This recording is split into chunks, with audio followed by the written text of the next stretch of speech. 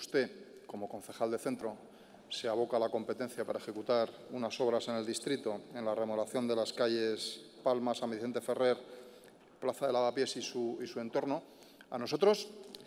pues eh, quisiéramos saber si esto es una, una actuación puntual que hace la Junta de Gobierno, auspiciada seguramente por el concejal de Economía y Hacienda y a la vez concejal de la Junta Municipal de Centro, que es muy consciente de que el farolillo rojo de la ejecución presupuestaria es el señor Calvo, responsable del área de desarrollo urbano sostenible, o si esto es la primera de sucesivas abocaciones de competencias que se van a empezar a hacer en favor de los concejales presidentes de juntas de distrito para intentar ejecutar los 750 millones que provenientes del remanente de tesorería de 2016 y 2017 ustedes eh, quieren llevar a cabo durante este año en un tiempo absolutamente récord. Si es lo segundo, es decir, si van a empezar a utilizar a las juntas municipales de distrito para intentar conseguir ese récord histórico que yo pongo en duda, pero en fin, ustedes no han sido capaces de ejecutar absolutamente nada, pero ahora es posible que sean capaces de hacer esa machada y para eso necesitan a las juntas municipales de distrito, bueno, necesitan cualquier órgano municipal que, tenga capacidad para ejecutar el presupuesto. Si esto va a ser así,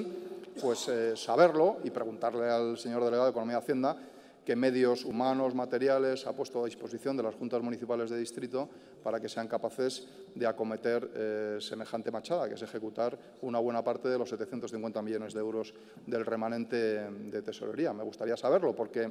eh, por lo que se refiere al proyecto de desconcentración municipal en favor de las juntas municipales, ustedes, pues como van largo, van despacio, que es lo que dicen. Vamos despacio porque vamos lejos. Mm, muy poquito a día de hoy. Eh, la señora Sabanés, si le han quitado en favor de los distritos la delegación de competencias para el acondicionamiento de las zonas verdes, pero en lo que se refiere a viales y espacios públicos, que yo sepa, esa delegación de competencias a favor de las juntas todavía no se ha hecho, señor Murgui. No sé cuándo se hará, pero a día de hoy creo, si mis datos no me fallan, todavía no se ha hecho. Entonces, pues en fin, eh, saber eh, todo esto, señor García Castaño, porque a mí me parece que si lo van a hacer, lo que tenían que haber previsto previamente, eh, si van precisamente a encomendar a las juntas municipales una mayor responsabilidad en la ejecución de los del remanente de tesorería, deberían haber reforzado los medios humanos y materiales, y no la propuesta de reestructuración del señor Murgui, que es hacer un ejército de generales sin soldados. Muchas gracias. Gracias.